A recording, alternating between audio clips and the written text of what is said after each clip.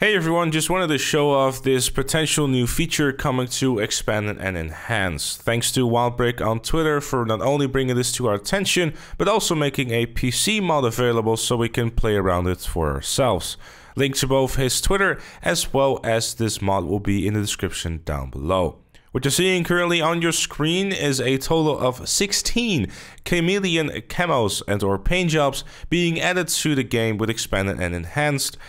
Possibly. Obviously, this has been added within the last DLC patch with the contract DLC, so this is something that Rockstar is still working on. It could be for a future DLC as well, but it's most likely going to be something that is going to be added with expanded and enhanced. This has happened before with the PS4 and Xbox One versions, as well as the PC version where Rockstar did add some new features to the game that were going to be added in the next version. This is likely because behind the scenes they're probably trying to test this stuff and making sure it's actually going to work. And well, as you can tell, it kind of goes from looking interesting to someone has been doing too many drugs and now I am tripping balls.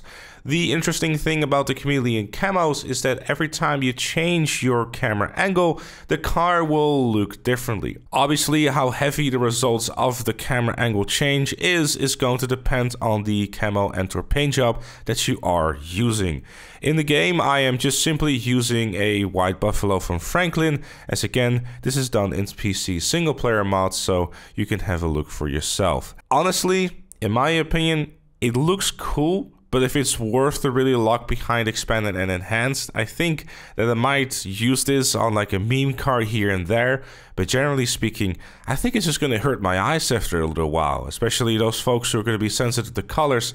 I don't think this is something that is particularly fun for them to use. Obviously, it should be very much noted that this is something that is in the game files, but it doesn't exactly confirm that this will be added to expanded and enhanced or the game at all. If you might remember, the heavy rifle has been in the game files for the longest time, but wasn't added to the game until the contract DLC.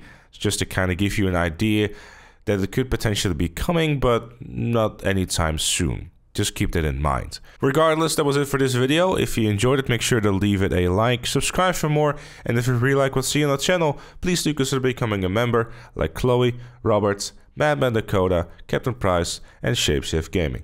Thank you again for watching, and I'll see you all later.